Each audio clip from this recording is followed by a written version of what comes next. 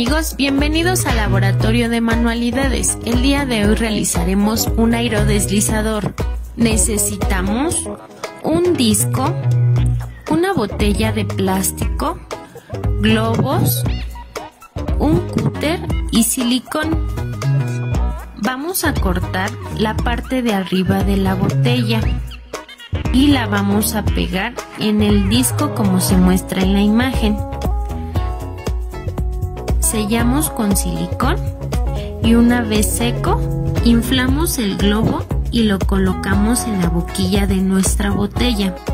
Nuestro aerodeslizador está listo. Es hora de jugar. Hasta la próxima.